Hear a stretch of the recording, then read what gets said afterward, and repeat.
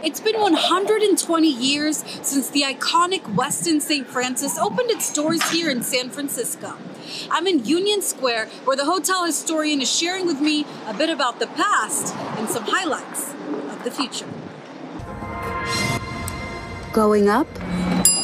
Well, that's where former busboy Howard Mutz went when he began working at the iconic Westin St. Francis back in 1972. He started with humble beginnings and worked his way up to manager and eventually official historian. Today, he continues to embrace new and old memories at the legendary hotel overlooking Union Square. I had a nice note from um, Mrs. Carter, Rosalynn Carter, when she was a guest of the hotel and stayed here. She just thanked me for my hospitality and taking good care of them. And um, we've had several presidents that were here. Um, Mr. Bush Sr. used to stay here, and we always had to put in Diet Dr. Pepper because that was his drink of choice. The hotel was built back in 1904. It survived the 1906 earthquake, and over a century later, it's still standing today. As it celebrates its 120th birthday, Howard is reflecting on a few more special memories that he has had while serving the hotel for decades, like a special moment with legendary actress Bette Davis. Said, Miss Davis, welcome to the St. Francis. We're so thrilled to have you with us. I want to make sure I take care of all of your needs. And she said nothing at first, and I thought, well, maybe I've overstepped my bounds. And then all of a sudden she said, come on up. And up he went.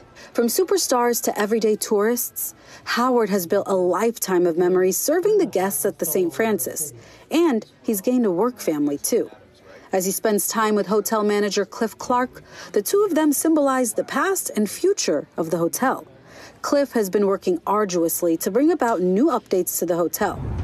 As we go up the 32 story tower building to visit the newly updated iconic Windsor Suite, Yes, the one where Queen Elizabeth herself stayed. Cliff says a fresh take is just what the hotel needs. But don't worry, even with all the updates on the horizon, some things will remain, like these original ceiling moldings from 1913, still visible at one of their new restaurants, the Westin Club.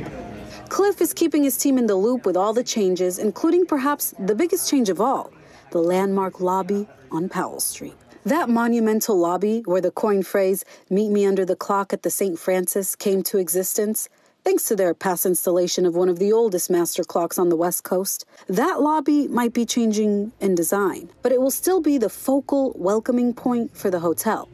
Cliff says while there are many shifts happening around the neighborhood, the St. Francis is here to stay. One thing that's consistent is all of these iconic hotels that have been here in San Francisco for over 100 years are still here. And even as times change, when it comes to Howard's heart for the hotel in the city of San Francisco, well, that's here to stay, too. Like home. This is my home. A home that remains from season to season.